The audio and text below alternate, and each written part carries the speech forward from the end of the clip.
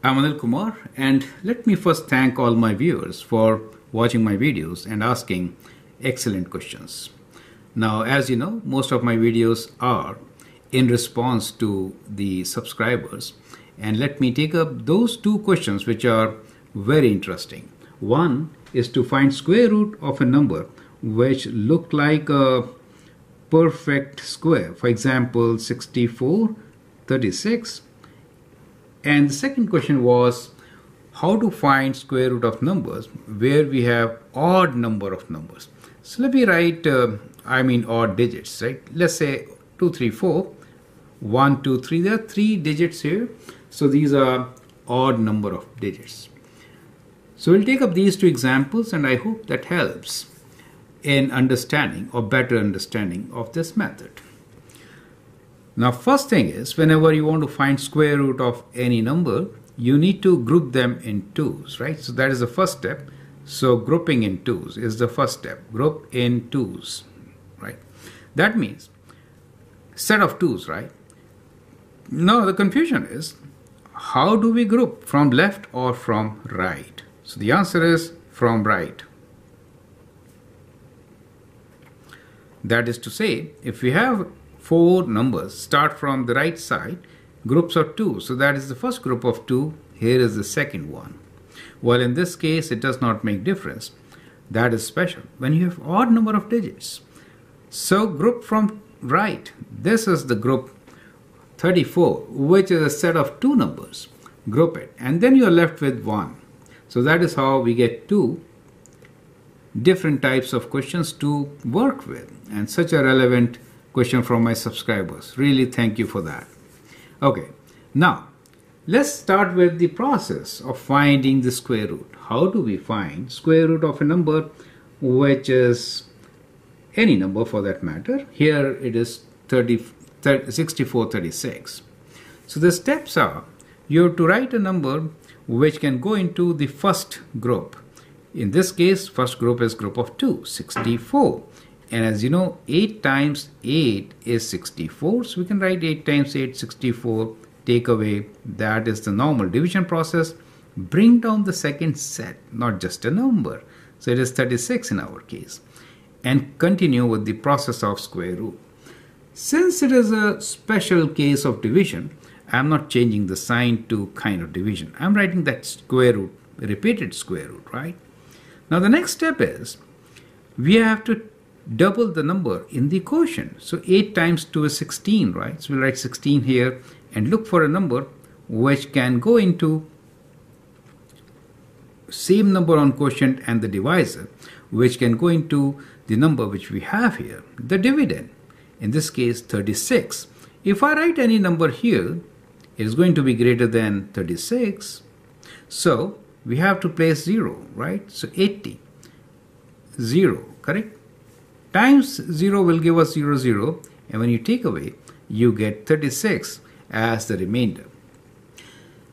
Since we have no other numbers, we can always place a decimal and a set of two zeros and extend the process. Whenever you put decimal in the quotient also, you'll place a zero, right? And now let's continue with our step that is twice the quotient which is 160 in this case, right? So 80 times 2, 160, right? So second step as I am doing here is you have to do twice quotient, right? So write twice quotient and then divide, then square root division. Let me write this as square root division, right?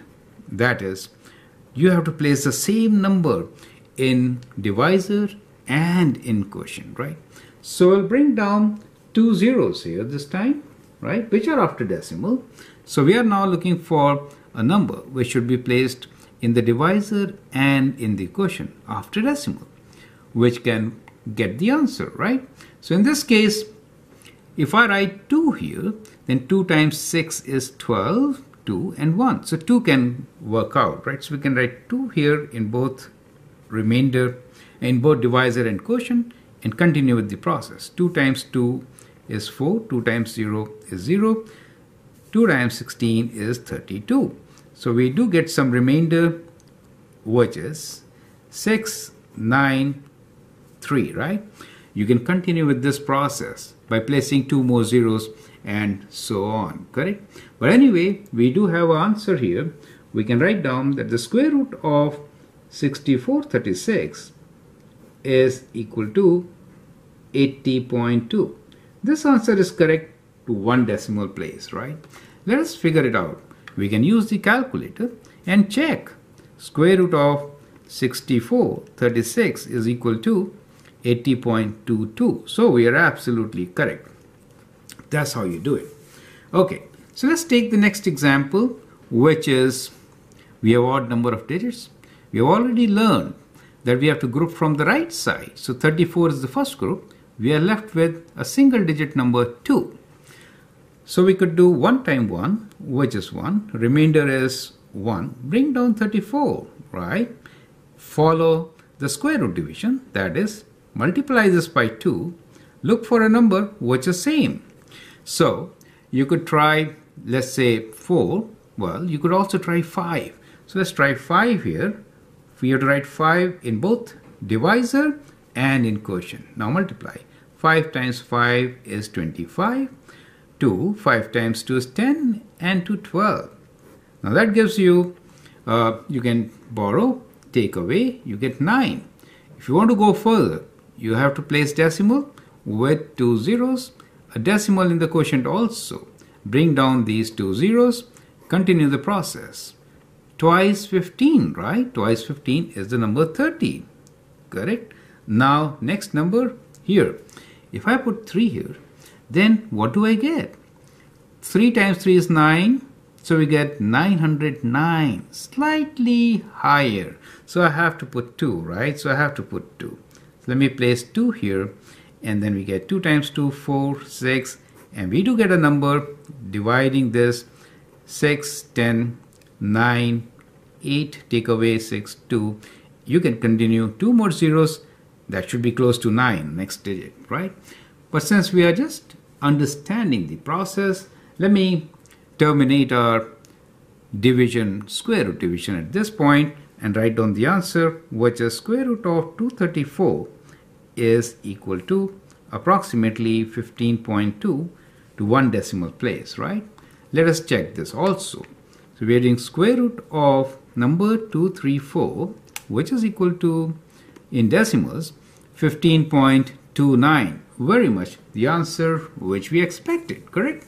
So i hope with this you completely understand this special process of division which can help you find square root without calculator.